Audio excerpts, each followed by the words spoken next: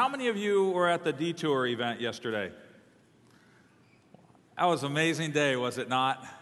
I, I had high expectations for the launch of that new course on the life of Joseph in Philippines and from Philippines to this part of the world. But as high as my expectations were, God surpassed those.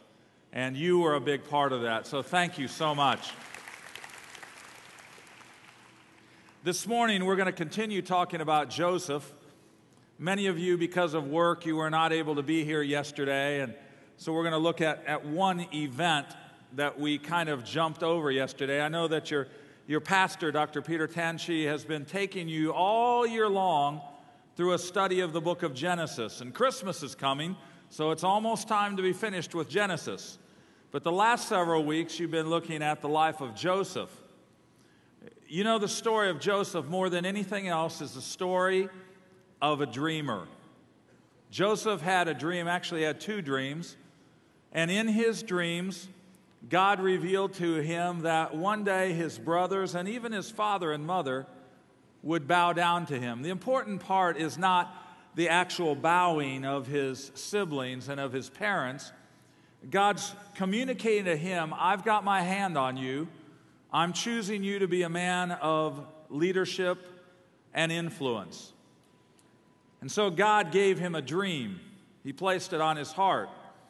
And the story of Joseph is the story of the dream and the dreamer, but even more than that, it's the story of the dream giver who's behind it all, of God Himself, and Joseph's relationship with the dream giver, God.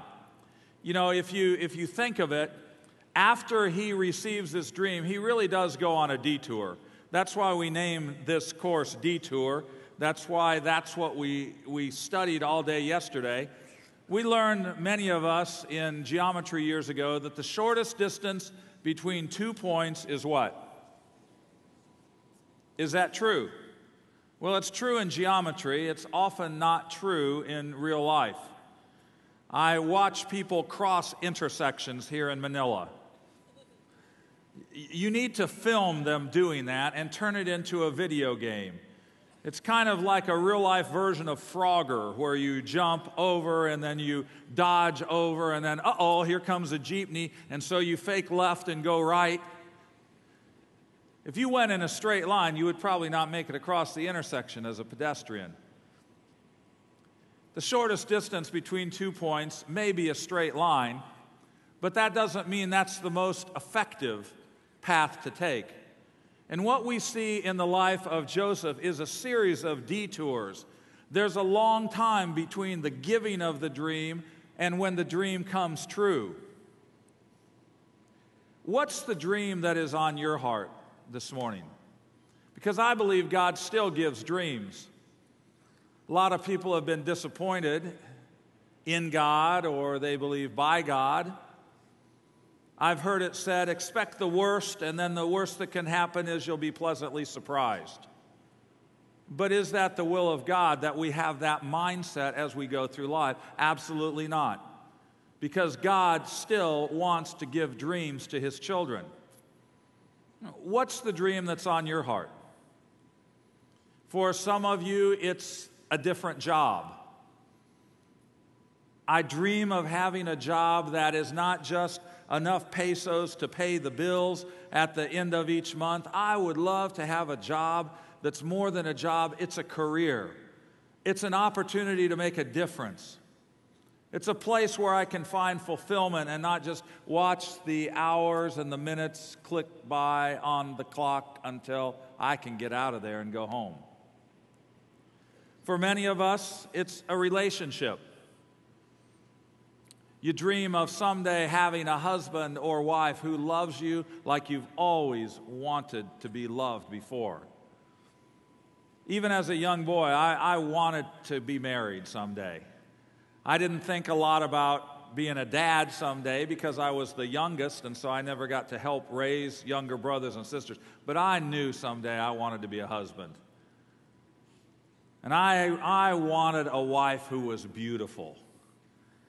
I, in my world, there were two kinds of girls. There were gorgeous girls at school who didn't live very morally, and then there were godly young women at church.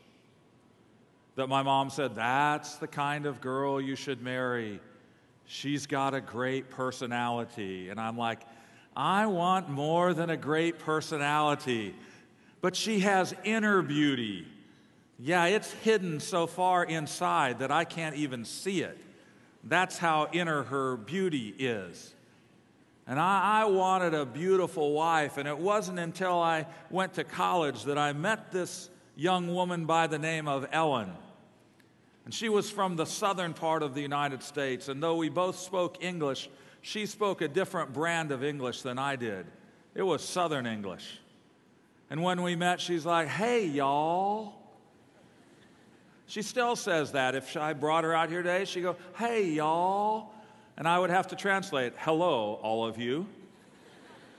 She had hazel eyes. Sometimes they were green, sometimes they were gray, sometimes almost brown. It depended what kind of lighting we were in. And I thought, this is just, this is amazing. She was beautiful. But you know what? She was also one of the most godly people who I had ever met before. She was strong. I always thought that I would want a wife that if I could just speak, she would say, Yes, sir, and never ask any difficult questions or make me think. And God did not believe that was what I needed. And so He gave me a strong wife, and, and though she follows my leadership in a very good way, she keeps me from making a lot of stupid decisions along the way. God blessed and He honored that dream, but it took a long time for that to come true. And in fact, even after we got married, it's taken a long time to develop the kind of relationship that both of us always wanted to have. But on December 20th of this year, my beautiful bride, who's over there, and she will, I will pay for this later because she doesn't like this. But Ellen, will you stand up? The love of my life, right there. Just say, hey, y'all, or something. Yeah. Another dream that was especially on her heart and then on my heart was to, to start a family someday. We finished grad school, we're serving our first church. It's time to start a family, Lord. And month after month of disappointment became year after year of heartbreak, and no baby came. And I didn't really share this struggle with our church family because that's pretty private when you're going through a time of infertility. And so they didn't know if we were hoping to have children or not. They thought maybe we were still waiting. In the Philippines, they don't let you wait, do they? Like two months after you're married, they're like, Well, when will I be a grandmother? Long time went by. We even tried to adopt, and the adoption agency closed and went out of business. So disappointing. So heartbreaking. What about the dream? You see, that's often the case with the dream. There's detours. There, there's a delay between the giving of the dream and the fulfillment of the dream. Some of you are hoping to someday start your own business or maybe own your own home. You're waiting for that prodigal son or daughter to come home, not just to the faith, but even to you and your family. And life is full of detours. And very rarely is life linear, where the shortest distance between two points is a straight line. We see this very clearly in the life of Joseph. In the life of Joseph, his story, after he receives the dream, you would think that his role of leadership would very soon be revealed, but no, instead, he's rejected by his brothers. You're going to rule over us? Today, my kids would say, Who died and made you king? You're going to rule over us? I don't think so. He was sold into slavery by his brothers to um, a passing caravan of Midianites who end up in Egypt. And then those people sell him as a slave to a man named Potiphar. Can you imagine being owned by a human being? The, the very idea of slavery is so offensive to me. I think it's offensive to God because each of us is created in His own image, and we're not to own other people and treat each other as property. And yet, in our age today, through human trafficking, through abusive employment policies, there's still a lot of people who are just owned by other people. You travel to the Middle East, as I do every year or so, and, and you see the devastating effects of a system that's all gone wrong, where especially women are valued just, maybe just above furniture. And a man can say, I divorce you, and that's all that happens. And the woman is thrown out, and she gets no money, and she has no rights. And it's a tragic, tragic, tragic thing that's practiced in that part of the world. He's falsely accused by Potiphar's wife. He's served Potiphar very faithfully. She tries to seduce him on multiple occasions, and he resists the temptation. And what does he get for his faithfulness? He's falsely accused. Potiphar believes the accusation of his lying wife, and then he's unjustly imprisoned for something that he didn't even do. This, God, is how you reward those of us who follow you. One of the most amazing parts of the story of Joseph is that he doesn't become bitter because he so easily could have. Many of us in this room have experienced far less than that and wanted to turn our backs on God because you're not fulfilling my agenda. The dream on my heart, you're not making it come true. Even in prison, where he does nothing but do good, he interprets a dream for the cupbearer and also the chief baker. The cupbearer is reinstated in his position. I'll remember you to Pharaoh when I get out there. And the cupbearer forgets all about him. And years go by. What about the dream? Why the delay? Why the frustration? Why the circuitous route that makes no sense? God's in control. If there's anybody in this world who can get something done efficiently, it's God. And yet, all through His Word, and by the way, even in our lives, God often includes these delays. He allows these detours. Why does He do that? I believe the answer to that is in this statement right here. Because God cares more about the development of the dreamer than He cares about the fulfillment of the dream. Let's read that all together. Just start with the word God. Skip because. Here we go. Ready? God cares. Development of the dreamer. You know, that's nice and neat when you read it on a screen. But when you're the one going through it, it's not so clear, is it? Maybe God lacks power. Maybe God lacks wisdom. Maybe God lacks love. He doesn't lack any of those things. In fact, I would say to you that the length of the delay, the depth of the, of the frustration, is directly proportionate to what He's preparing you for in the future. One of the young women who worked for us at Walk Thru the Bible in Atlanta, her name is Lauren, and for a long time, Lauren wanted to be married. She dated some different guys. She had several heartbreaks along the way. About a year ago, Lauren was married, and we went to her wedding, and it was one of the most beautiful things. Lauren and her, her husband are both beautiful writers. And so their whole ceremony was a worship service, and they had both written things for each other, and everybody in the place, Ellen and me included, we were, we were just crying because to see this girl that we love so much finally receive a husband like this was just fantastic.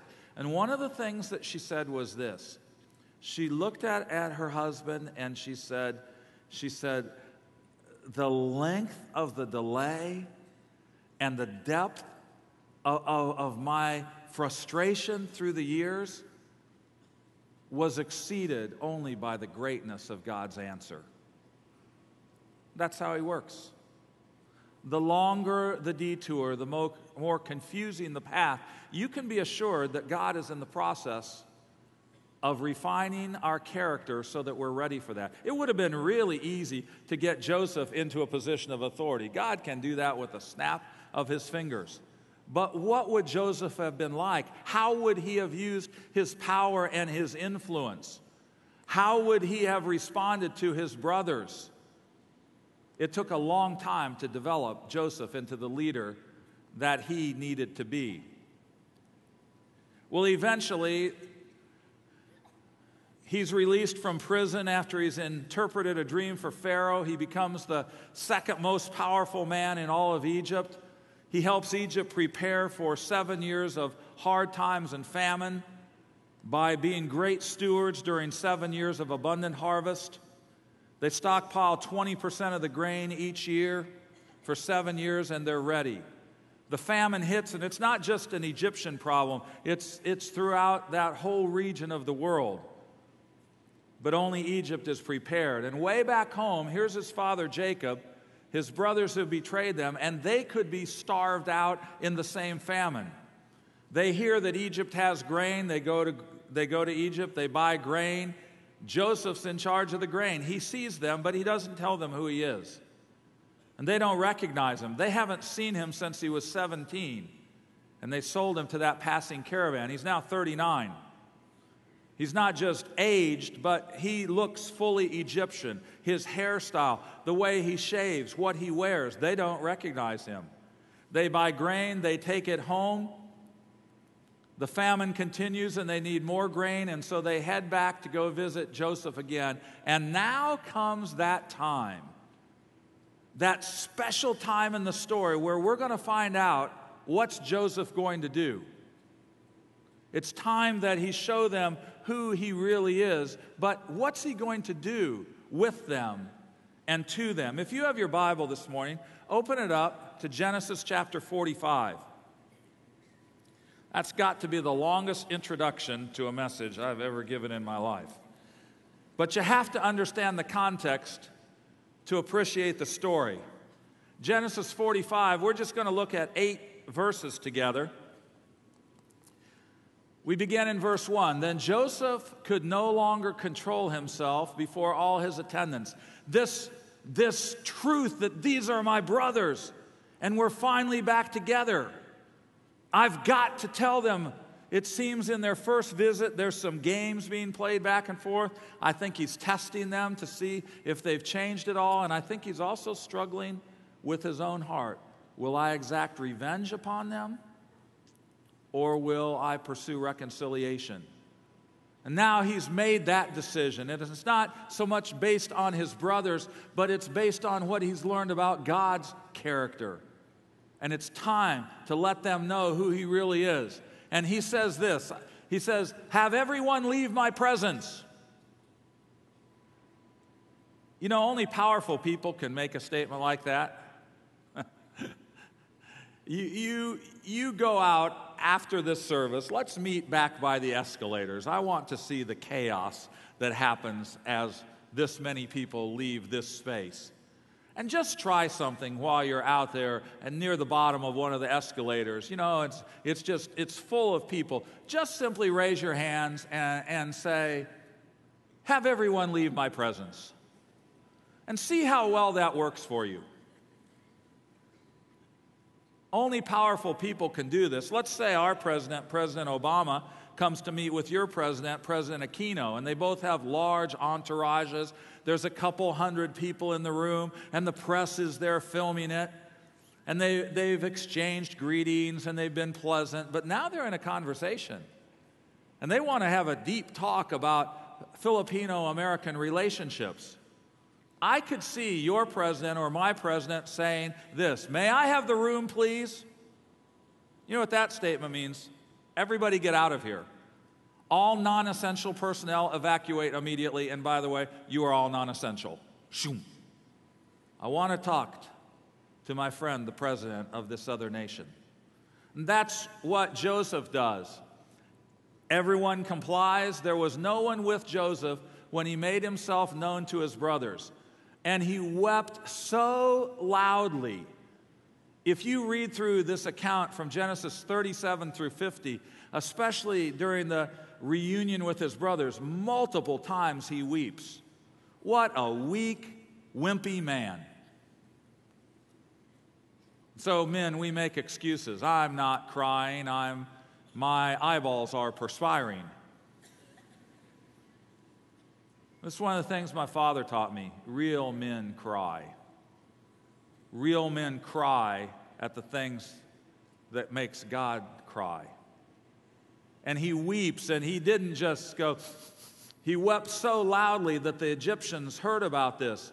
And Pharaoh's own household got the report because this man is high up and powerful, but he's also loved and respected. And if Joseph is upset, a whole lot of other people are upset.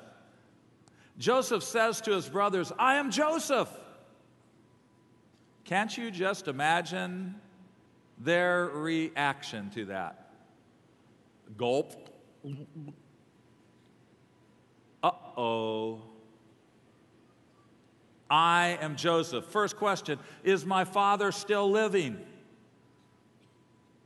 His father has assumed that Joseph has been dead now for years and years and years. Joseph wants to know, Is my father still alive? But his brothers were not able to answer him. Why? Because they're terrified at his presence. Different cultures express this differently. We say, I was shaking in my boots, like that. I grew up with a pathological fear of public speaking. The first group I spoke to, just a dozen or a couple dozen people, my legs were literally doing that. People would talk about your knees knocking together. I didn't know they actually do that. They actually do. They can, they can knock up against each other. Who knew? I'm glad this wasn't the first assignment where God gave me to speak. You are a scary group of people. There are a lot of you out there. Now it's not my knees knocking, it's just inside my own heart and inside my own mind. But God gives peace when He calls us to do something. They're terrified, they're not just nervous. What's He going to do? How will our brother respond to what we have done for him? Why are they so afraid? Because they are full of guilt. Filipino culture, American culture, one of the things we have in common is there's an attempt to get guilt out of our vocabulary. And so we talk a lot about false guilt. You shouldn't feel false guilt. Don't be guilt is a negative emotion. Guilt just paralyzes you. You need to move on behind it. And there is a kind of guilt that's bad guilt. The condemnation that we feel the refusal to forgive ourselves and, and accept God's healing through Jesus Christ. That's bad guilt. That's terrible guilt. But there's also a good kind of guilt. There's the guilt of conviction of sin. When we've done something wrong and we feel bad about it, that's one of the most loving things that our Heavenly Father does because the Bible says, as a father, He disciplines those He loves, He disciplines all that He loves. So, part of feeling guilt at the right times is knowing that we really are his sons and his daughters. When I, this is an embarrassing story, okay? I, I would love to be one of those speakers that travels from far away and only tells hero stories. Yes, it was a good flight on Delta. I led five people around me to Christ in the seats, along with three flight attendants and the co pilot. I'm just kind of a bionic believer, a super saint. I try to share my faith regularly, but I think we also need to be real with each other, and we don't always do everything right. And this is an embarrassing story. Uh, when I was younger, probably, probably early teens, I really loved to play baseball. I wasn't a great baseball player. My son was a great baseball player. He played four years through college. My daughter played four years of softball. I'm not sure whose genes they were, they really didn't come from me. My father was there the first time my son ever hit a home run in high school over the fence. And all the dads were cheering and they're all giving high fives to me like I did something. And my father, in a very loud voice, goes, Have you ever seen genes just skip a generation like that? I went, Ouch, dad, that hurts. But I loved baseball. We didn't have a lot of money growing up, so I didn't have a good baseball glove. I had my dad's old glove from who knows what. It belonged in a museum, not on a baseball field. And this kind of, it was sort of like an animal that had just died and it was old leftover skin and you slid it on your hand and half the time balls would bounce off of it. It wasn't a very good glove at all. I wanted a good baseball glove. I asked for one for Christmas. That's not what my parents gave me.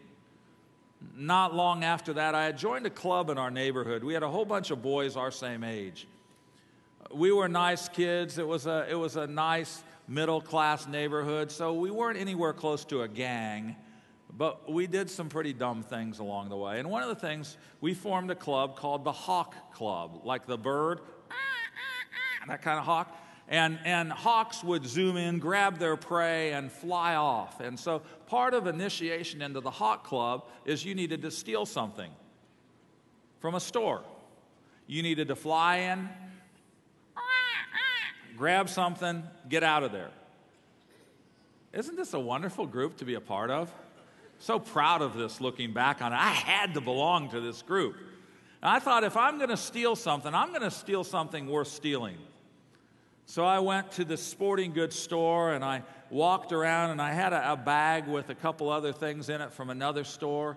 And when the store owner wasn't looking, I took the best Rawlings baseball glove and I just slipped it into the bag and then I put the other things on top of it. And I, I can remember my heart is beating out of my chest. I walked out the door of the store and I went halfway down the street before I looked behind me and no one was chasing me. And I had my baseball glove. And I love that glove. I could run down balls. I made great diving catches with that glove. I love that glove. And I hated that glove because every time I would slip it on and run out into the field, I just had this sense of guilt. And I knew that glove really didn't belong to me. I'd had that glove for a couple of months until one day my father says, You know, that's a really nice baseball glove. Where did you get that, son? I knew someday this day would come. I knew eventually he'd ask me. I had carefully built a story and an alibi, the version that I would give to them. And in that instant, I forgot all that. And all that went away. I just, I stole it. I went to the store. I put it in the bag. I covered it up. I walked out. I, I, I'm so sorry, Dad. Please forgive me. And I slid the glove across the table. And he says, You know, that's stealing and that's sin. You need to tell God that you're sorry too. I already have. Dad, I'm sorry. He says, We need to return this glove to the store, to the owner of the store. I said, You're right. Take it back to him. You need to take it back. You're right, Dad. And he goes, I don't remember stealing the glove. You need to take it back. I said, All right, call the store owner, tell him what's happened, we'll drop it off. There's the phone. He goes, I don't remember stealing the glove. You make that phone call. We went and we sat in this man's office. He comes, he sits behind his desk. He says, How can I help you? And I turned to my dad, and my dad didn't speak. He didn't even have to say a word. He just looked at me and I read his mind. His mind was saying, I don't remember stealing that glove. And I cried again and I gave the glove back. And the store owner, he said, People steal stuff from me all the time. And when I catch them, I prosecute them. But I've never had somebody bring back something they stole without getting caught. This is a young man of great character. I, sir, you have raised a good son. He said, Son, I want you, this glove's used. I can't sell it anyway, but son, I respect you. I want you to keep this glove. And he slid it across to me. And I said, There is a God in heaven, and he knows my name.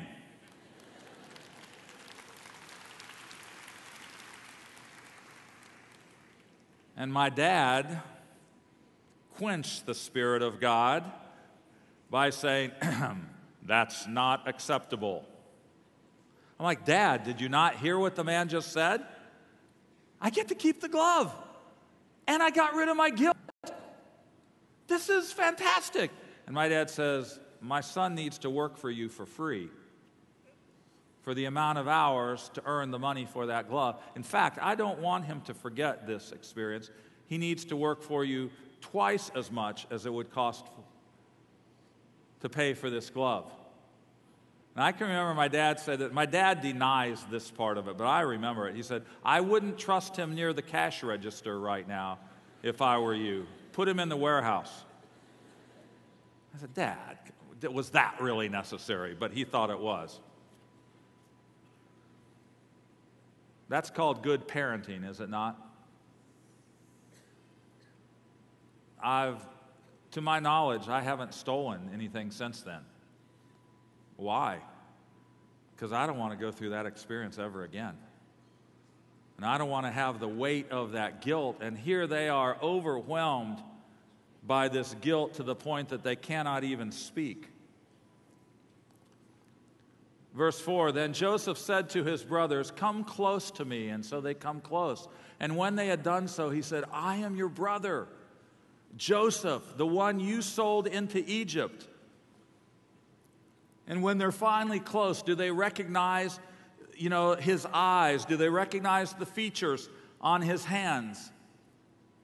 The sound of his voice finally sounds true. He probably switches from Egyptian into their native language at this point. This really is our brother. And now do not be distressed and do not be angry with yourselves for selling me here because it was to save lives that God sent me ahead of you. It was not your plan, it was God's plan. Later on in chapter 50, repeats this story in a different context, and he says, You meant it for evil, but God meant it for good. This is not soft forgiveness. This is not, let's just all get along and pretend nothing ever happened. What they had done was wrong. He doesn't skip over that part. I'm not allowed to have favorite countries. Walk Thru the Bible, World Teach is in 126 countries. I'm not allowed to have favorite countries. If I could, Philippines would be my favorite country to visit. But I'm not, so don't clap and don't tell any of our other 125 countries that I said that. We'll edit that out Uh, of, the YouTube version of this message. You know, one of the reasons is because of your warm hospitality, because of your joyfulness, because you're one of the few places on earth right now that seems to like Americans, that's an added benefit. Filipinos travel the world, and wherever you go in the world, you're welcomed. Why are there 12 million Filipino foreign workers?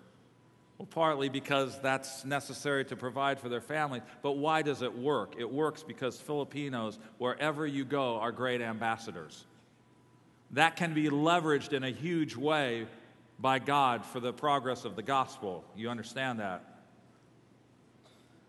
But part of that comes with a price. Filipinos are always smiling. Filipinos are always just, just radiating happiness. But as I get to know Filipinos and actually have conversations and we go a little deeper, they'll go, Yeah, don't be fooled by that. We're raised to be people pleasers. We're raised to keep the peace at any price. And so sometimes when there's a conflict, there's a reluctance to go, you know what? You hurt me. When you cheated on me, you broke our wedding vows, and it broke my heart. And yes, I will forgive you.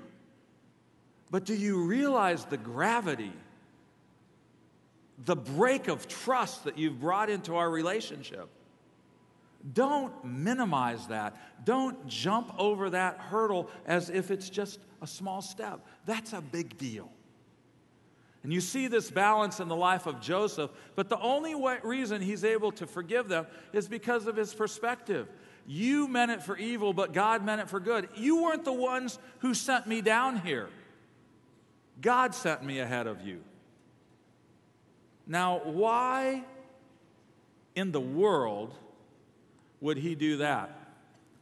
For two years now, there's been a famine in the land, and for the next five years, there will not be plowing and reaping. That's really interesting. We've had famines, we've had the Dust Bowl in, in the United States. You've had hard times here. But can you imagine where you don't even bother to plant crops? Because it's just useless. The famine is that intense. But God sent me ahead of you to preserve for you a remnant, a leftover on earth, and to save your lives by a great deliverance. Joseph understood that life was not about him. Here he is, this powerful man in Egypt, but he didn't see himself as the sun and everyone else orbiting around him. He saw God himself in the center of it all, and he was in orbit around God. God was the center of it all. And God had formed a covenant years ago with Father Abraham. Abraham and Sarah, I'll give you a child. Not just a child, but many descendants. In fact, someday a great nation will come from you. And I'm going to bless that nation, but that, that nation is not just my favorite. They're not my pet people. They're to be my pattern people and show the whole world how to live in relationship with me. That's God's plan. And ultimately, through one of your descendants, he will be the promised Messiah. We find out later that's Jesus Christ, whom we gather to worship today. I don't know how much of that Joseph understood, but he understood enough to know that God had made a promise, and God always finishes what he starts, and God's going to keep his promise. And when that famine hit and his family could be destroyed and starved out of existence, if that happened, the chain that would eventually lead to Messiah would be broken. So, who's ultimately behind the famine? It's Satan himself. Because if Satan can starve this family into extinction, he'll rule this planet forever. But God has a plan, and so he sends Joseph ahead so that he can save the remnant. Because Satan's trying to cut down the family tree of Messiah before Jesus can be born, and God outsmarts him. And he's got Joseph in his place. He knew it wasn't about him. Verse 8, and so then it was not you who sent me here, but God. He made me father to Pharaoh, lord of his entire household, and ruler over all Egypt. Ellen and I have a good friend. Her name is Maggie. I share Maggie's story with, with her permission because it's a really painful story. Maggie was married to a guy who was crazy and he was mean. It's sad when you're crazy, and it's really bad when you're mean. And if you put mean and crazy together, that's a bad deal.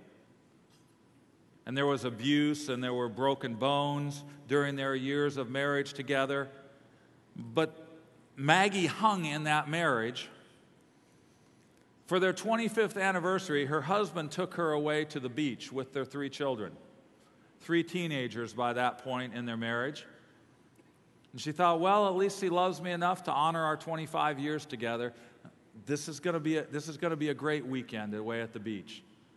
The first night that they're there in their rented cabin at the beach, he takes a stack of papers and he opens them up and he won't even look at Maggie. He looks instead at the three children and he says, These are divorce papers. I hate your mother. I'm leaving her, I'm divorcing her. Here's the agreement. Get her to sign this as is. She's standing right there, but he won't speak to her. Get her to sign this as is and make sure she understands if she disputes so much as the placement of a comma, I will end her life and he drops it on the counter. He walks out of the house, he gets in the car, and, and he goes back home. And there she is, instant single mother of three children, three teenagers. No husband, no dad. She's never worked outside the home. How is she going to support these three kids?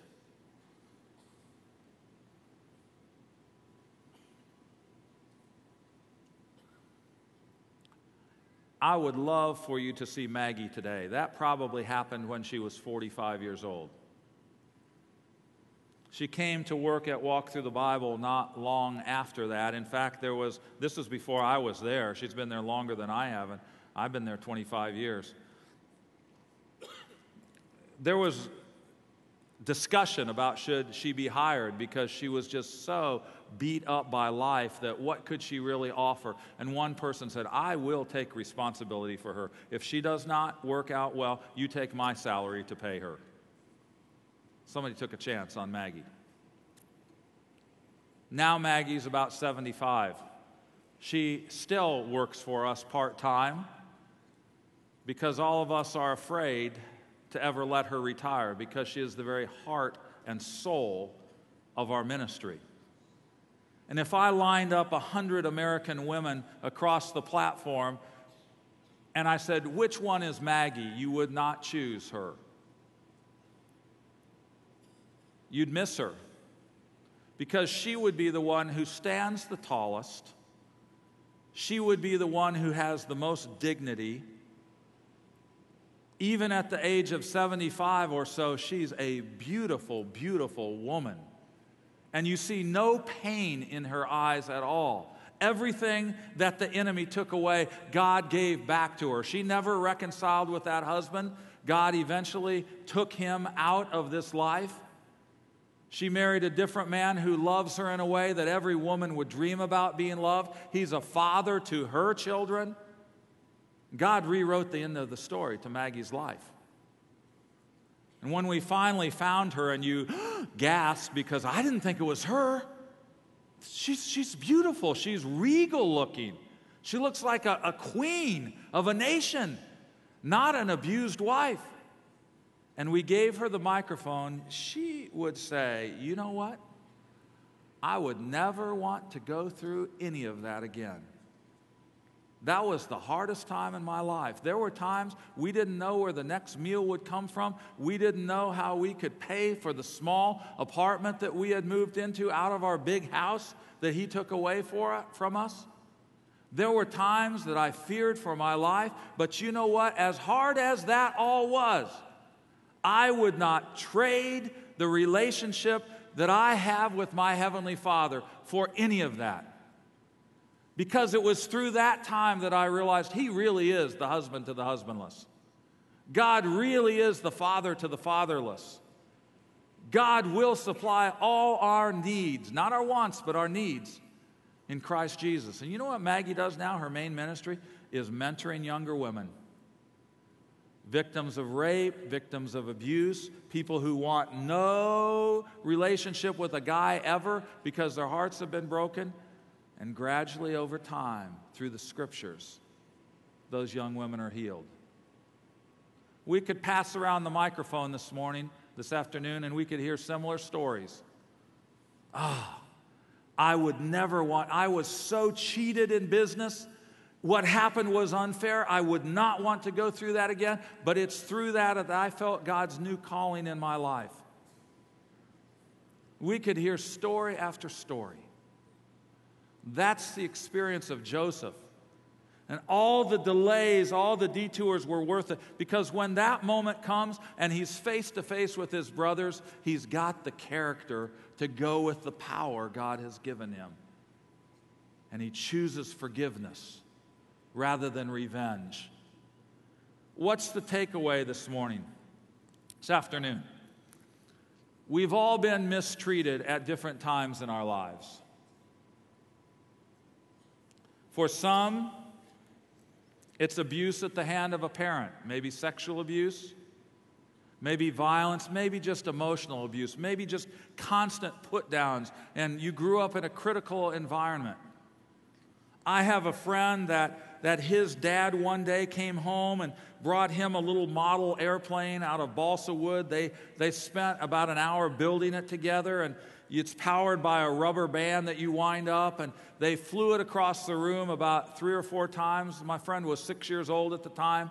And about the fourth time, he wound it up and let it go, and he, he ran and he got it, and he turns to bring it back to his father, and he sees his father's legs disappearing up the stairs. And his dad just kept on walking. And to this day, he's still never seen his dad again. And he's about my age. Some of you understand that level of abandonment. For some of you, it's your supervisor at work who just over and over and over took credit for your ideas when eventually he or she was about ready to get caught, they got rid of you. You were unjustly terminated because your boss was threatened by you. Maybe it was a close friend, a close friend that you shared a deep struggle with, and you said, You can't tell anyone this. And there you are in your D group, and your close friend says, We really need to pray for my friend right here because she's struggling with this right now. And you look at her like, what part of the word confidential do you not understand? You're betrayed, even by a Christian brother or sister. We could go on and on and on with examples. Spouses that broke our hearts with their unfaithfulness. The question is who's the person who has hurt you the most? Who's the person who has hurt you the most? For most of us, that's not very hard to think who that is. In fact, sometimes we have these little revenge fantasies. If I could be God for one day, I could fix some stuff in this universe of ours. And I would start by dealing with that person. God and God alone is given that authority and that power because his character can handle it. What would it look like for you to choose forgiveness over revenge? What would be the first step God would want you to take? Maybe it's writing a letter to that uncle who abused you at a family gathering years ago. Don't send an email. Write it with your own trembling hand. And don't just say, it really wasn't a big deal, I forgive you. It was a big deal, and tell him so. For some, it's a parent. Some say, well, it's too late. My mom, my dad, they're, they're dead and gone. You know what? You can forgive a dead person. Did you know that? Because it's not primarily for the other person that we forgive, because in most cases, they're, they're moved on. And we're the ones stuck with the pain. And no prison is so confining as the, as the cell that we place ourselves into when we take the stones of unforgiveness and the mortar of bitterness and we wall ourselves out from trusting relationships. You've heard the quote before refusing to forgive another person is like drinking poison and hoping the other person gets sick. We destroy ourselves with our unforgiveness. What would it look like? Maybe it's a letter. Maybe it's a phone call. Maybe it's a face to face meeting. Maybe you say, I can't, even, I can't even comprehend forgiving. I will never forgive because I will never forget. Today can be the start of that process as we open our hearts. In a minute, I'm going to pray, and after I pray, we're going to have a song. And you can, during that song, you can do business with God right where you are. You can take that person who has hurt you and you can take them to the throne and you, you can ask God to give you the supernatural ability to forgive. Well, I can't forgive. Yeah, we can, except if one thing is missing if we've never received forgiveness. If we've received His forgiveness for our sin by the death of Jesus Christ on the cross, if we've been forgiven that level of debt, my hell deserving sins, because I've done a lot worse things than steal a stupid baseball glove along the way. And God's forgiven me that because Jesus took the death penalty I've deserved. You can receive his death in your place today. For those of us who know him, we still struggle with forgiving other people, don't we? And you can deal with God right where you sit, but for many of you, you need somebody to help you get over that, that hump, somebody to help you take the first step. Because this has been this has been holding you back in your growth and your relationship with Christ and your growth with other, other people that you love to be closer to, but you protect yourselves because you're reluctant to trust. There's going to be some of the pastors and other spiritual leaders from here at CCF are going to be spread across the front. You come. You come. You tell them what the issue is. You don't need to give them all the gory details, but let them pray for you. And today is the breakthrough day where we begin to experience the freedom that we have in Christ. So that, like Joseph, we can say, You meant it for evil. I would never want to go through that again. But you know what? I see the hand of God in it. And I trust Him that He really does cause all things to work together for good to those who love Him and are called according to His purpose. So you come if the Spirit prompts you. Father, Thank you for the life of Joseph. Thank you for this powerful story. We sometimes think that he's a superhero who never struggled, but that's not true. There was a depth to the conflict that was raging in his own soul, and yet he decided to trust you. He decided to let you be God. And Lord, today I pray that we will take a step of faith to be a little more like Joseph,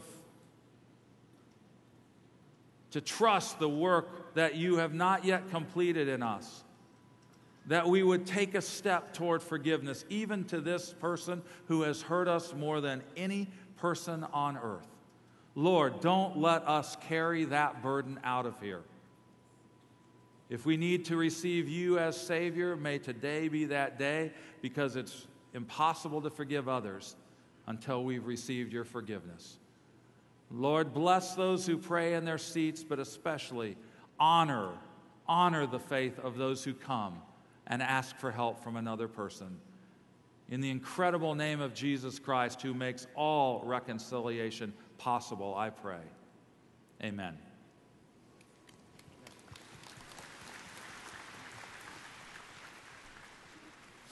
Let's all stand now and give Honor and glory to our Lord Jesus Christ.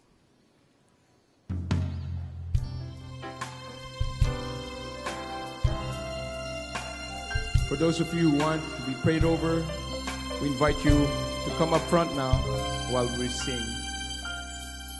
To the King eternal, immortal, invisible, the only God, be the honor and glory forever and ever to the King, eternal, immortal, invisible, the honor and glory forever and ever. Amen. To the King, eternal, immortal, invisible, the only God, be the honor and glory forever and ever. To the King, eternal,